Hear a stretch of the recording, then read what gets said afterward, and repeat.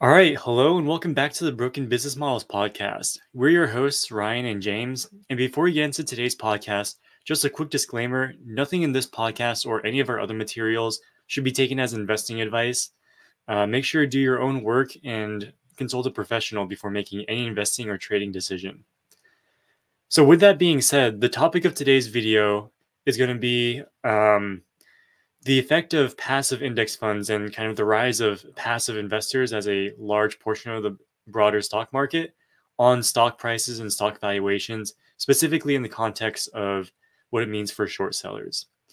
This topic was a, a uh, requested topic by one of one of our Discord uh, community members. So uh, just a quick, quick reminder we have a website called differentiatedanalytics.com that we created. Um, by subscribing to this website, one of the things you get access to is inclusion in the, in the Discord community and also access to a number of useful investing tools, such as our own original short uh, short selling research, as well as our short report aggregator, in which we kind of track the made the short reports released by a handful of the short short selling uh, firms that we hold in high regard. So if you're interested in in any of these kind of features or being able to make recommendations for video topics of your own, please feel free to use the coupon code WSM50 for 50% off uh, at differentiatedanalytics.com, which will bring the total cost to $10 a month. So with that being said, um, we need to get, get into the first topic, the the, the topic of today's video, which is the effect of passive investing on stock price valuations. So, if we back up and give a little bit of background on passive investing, passive investing is a massive and growing part of the overall stock market. Over the past 20 years, you can see from from these from these charts, each of the kind of five of the major US stock market indexes the share of passive ownership has increased tremendously over the past 20 years. And if you look at the, the chart on the bottom right, which denotes the total stock market, um, today it has reached, as of 2021, uh, 30%, over 30% of the of the total stock market is owned by passive investors. So the main point is that passive passive investing is massive and growing over the past 20 years to the tune of on the order of about 30% or more of uh, the total stock market being owned by passive investors. Yeah, and so with that um, being said, how does that impact uh, stock prices, and um, specifically with regards to you know how should short, short sellers be thinking about this? So I thought we would look at one example in particular, which is Nikola, the hydrogen truck company, and you know as you all probably know, Nikola has been already exposed as a fraud a couple of years ago, uh, and the business is a complete failure. Um, it's an unviable company and will probably go bankrupt within the next few years. It's definitely you know a crappy company. Yeah, if you look at the shareholders, um, 30% of all of Nikola's shares are owned by institutional investors. Um, but if you look at who these institutional investors are, almost all of them are passive investors who will just you know invest in a broad uh in a, you know in a broad basket of stocks without doing you know any analysis on any individual stock and so the single largest shareholder of Nikola is Norges Bank. They own 107, uh, 107 million shares out of Nikola's total 1.3 billion shares. So Norges Bank alone owns 8% of Nikola. And uh, Norges Bank is the Norwegian sovereign wealth fund, and they um, are they invest completely passively. And if you look at the other major shareholders, then it's Vanguard and BlackRock. These are also massive uh, passive investors. They have ETFs and index funds uh, which track various indexes. So while there is like a lot of institutional ownership, uh, it's almost all by either passive um, investors or quantitative like hedge funds. Um, there are very few uh, like discretionary hedge funds, um, you know, so-called like real investor, real professional investors who would actually own Nikola. It's mostly owned by passive, uh, quantitative, and retail investors. And so, how does this uh, 33% of uh, institutional ownership, majority of which is passive, how does that impact Nikola's share price?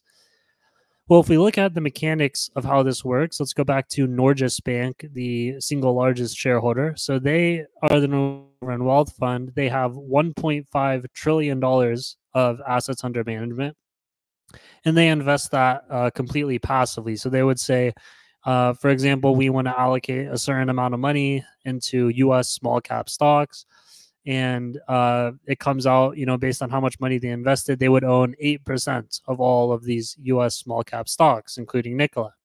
Uh, so that's why they want to maintain that 8% ownership because that's kind of what their passive um, investment framework mandates that they do. And the chart at the bottom here, it shows Nikola's share price, the black line, as well as these green bars are the number of Nikola shares owned by Norges Bank and we can see that um, as the uh, share price has been declining, Norges Bank's ownership has been increasing uh, in terms of the number of shares. So why is that the case? Well, the reason is as Nikola is running out of money, which it frequently is, they resort to dilutive equity raises um, to raise capital. That increases the share count. And as the share count increases, Norges Bank's ownership stake is diluted, so their ownership stake decreases. In order to bring it back up to their desired 8%, they are required to keep uh, buying more and more shares. It happens automatically, basically, every time Nikola does an equity raise. So, how does this, you know, buying pressure impact the share price of Nikola? Well, obviously, having the, uh, you know, this automatic buying pressure from uh, passive investors does benefit Nikola's share price to some extent, but you know, as the company is failing, uh, eventually their share price will go to zero. And as we'll argue here, uh, the inclusion of passive passive index funds can uh, delay but not completely forestall uh, a company's path towards zero if it is truly an unviable company.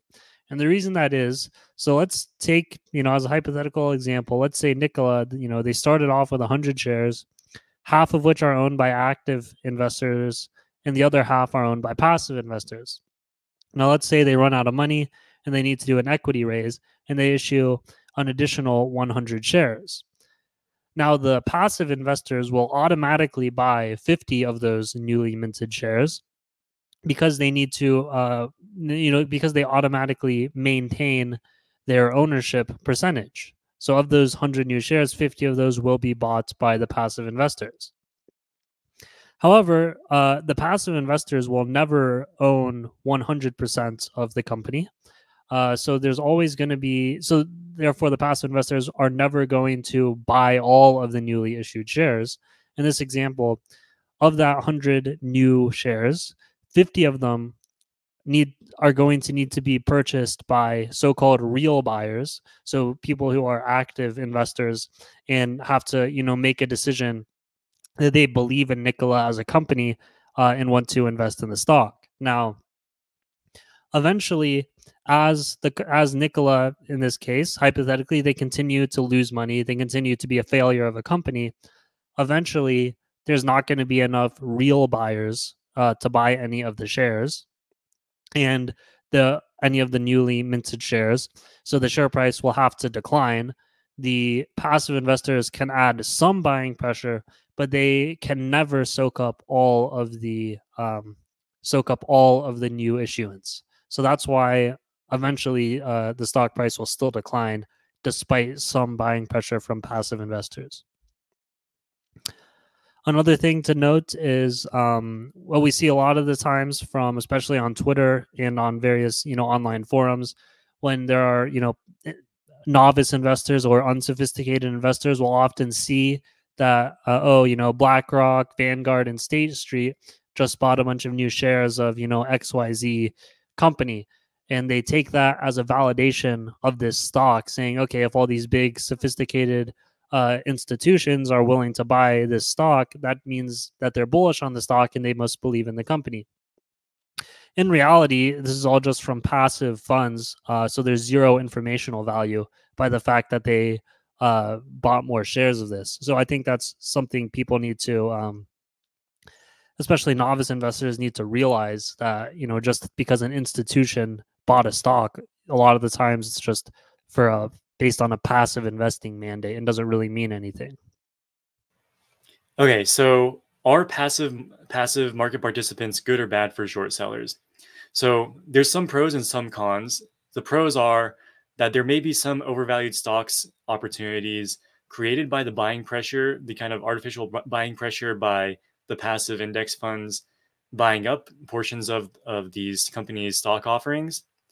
Uh, also, the stock that is the stocks that are owned by the, these passive funds are much more likely to be uh, put up available for for bar for borrowing for short sellers to borrow and then turn around and, and sell, which can decrease massively the cost of borrow for these stocks um, and these short opportunities. There's some cons though. Um, because of the buying pressure from these passive index funds, uh, the stock may not decline as quickly as, as you may want, even if your short thesis is playing out as you as you had expected it may just kind of drag out the process and take it longer for the stock to go to zero. And um, short sellers are uh, at a, a, high risk if the stock price increases at the same time that share count share count is increasing simultaneously as a result of these passive index funds uh, uh, buying up the, the share offerings. Okay, so passive investors, if you look at it, passive investors appear more likely to lend out their shares to short sellers than active investors. And we can see this kind of in the data in terms of, uh, you know, stocks that have a large, um, large ownership by passive investors generally have more percentage of their shares available than uh, stocks that have a lower percentage ownership by passive investors. And this kind of makes sense if you think about it. Uh, the reason is if you're a passive investor, you uh, you of course would want to lend out your shares and capture a little bit little bit of extra return uh, from lending out those shares as opposed to if you're an active investor and you have a concentrated position in a certain stock you may be more hesitant to lend out your shares to short sellers for fear of that increasing the selling pressure on that stock that you have a concentrated position in um, so state street actually did a study on on this and found found this to be the case generally speaking, between passive and active investors. However, they also found that in the long run, even active investors should not be hesitant to lend their shares out to, to short sellers because while it may create an impact on the price of the stock on the, in the short run, at least in the long run, if a company is, um, you know, in, in the long run, the availability to short will not have an impact on the ultimate fundamental value of the company or the ultimate long-term value of the stock price. So overall, what that means is um, the existence of massive passive investors in the markets is generally probably a good thing for for short sellers. Um, the existence of these passive, these large passive uh, investors means that there's a lot more shares available to lend, which brings down the cost of borrow for short sellers to borrow the stock. Even though they may um, increase the time length and uh, increase the amount of time that it may take for a shorted for a crappy company's stock to go to zero in the short run. Uh, in the long run, it will not prevent the company's stock from going to zero if, the, if it is indeed a fundamentally unsound business. Um, and in the meantime, uh, having the much lower cost of borrow due to these passive funds will massively can have a large positive impact on your overall returns of the short. Yeah, so I think that uh, wraps it up on what we had um, for this video as far as the uh, impact of passive index funds on the stock market. Uh, if you have uh, any questions or anything that you'd like to add, please let us know in the comments section below. Uh, and we will see you all on the next one.